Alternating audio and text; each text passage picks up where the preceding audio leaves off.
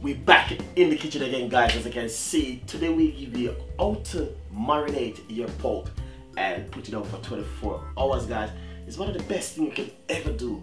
You know sometimes you can marinate your pork the same day and cook it the same day but the sweetest part of the pork is when you marinate it and put it on for the next day. Guys hopefully you will enjoy the recipe. Leave your comments and we're going to show you how to cook the pork. So that's the volume one of the pork how to marinate it.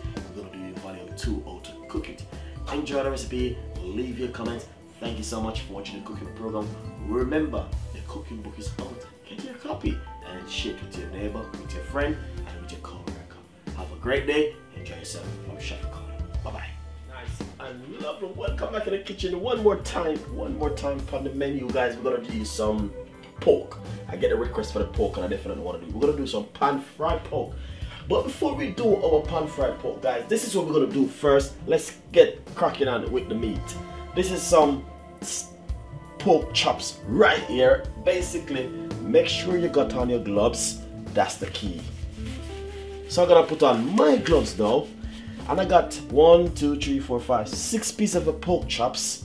And I'm gonna put it straight inside of this bowl right here. Make you guys can see what's going on. This is my bone, which I want to marinate my pork chops in. I'm gonna put them straight inside of it just like this. You can see I just wash off my pork chops then with some lemon juice. This is my lemon juice right here. I just wash it off.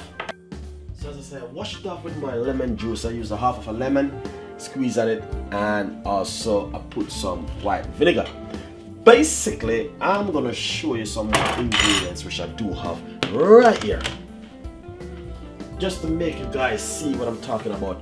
Right here I have a piece of a ginger cut up scotch bonnet pepper fresh thyme fresh spring onion garlic garlic and white onion. We're gonna pour everything straight down inside of the bowl like this. Make sure you get it straight inside of the bowl when you finish with the area please sanitize the area very very good for me guys. Right here I have some pimento seed I'm gonna pour it straight inside of it. And next thing we're gonna put some season one teaspoon tablespoon of pork seasoning. Teaspoon of all-purpose seasoning. And right over here we've got some coriander and garlic. We're gonna put a teaspoon, not a tablespoon, teaspoon is that. Then next thing we got some paprika. We're gonna put a teaspoon of paprika. Getting the flavor, beautiful. And then next thing we're gonna do, we got some hot and spicy season. We're gonna just put a pinch of hot and spicy season. Lovely. Basically, we're gonna put some olive oil. Come on, olive oil, come in, come on down. Beautiful. I know you guys said I love this one. It's really nice.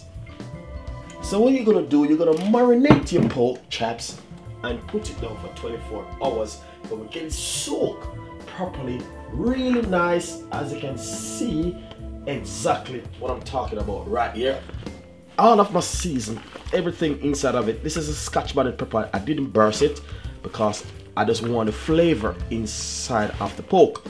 Uh, so i'm not gonna put any salt because most of these season already do got salt. So and we have a lot of natural seasoning guys. And you can see exactly what is taking place right here. So basically we're just gonna get the pork marinate like this and we're gonna pan fry them next. As you can see how the pork chops look. Beautiful and nice. Pan fry them and we're gonna finish them off in the oven. So basically now we are getting the pork chops soak for 24 hours. We're not gonna cook them today. We're gonna cook them in 24 hours. So if you're at home and you want to do the same thing like what I'm doing at the moment, you can do the same thing. Get your pork, marinate, use your daily basic seasoning you use at home, and get your pork marinade. So guys, enjoy the recipe. Please leave your comments, subscribe to the YouTube channel, and this is the best way how to marinate your pork for 24 hours and it soaked and I know you guys are gonna love this one. So enjoy the recipe. Thank you so much for watching the Chef Ricardo cooking program. We got a lot more recipe for you. All you need to do is cover it, clean film it, put it in your fridge, in your fridge, and or if you got a meat bag, and put it in your fridge. Thank you so much. Bye bye.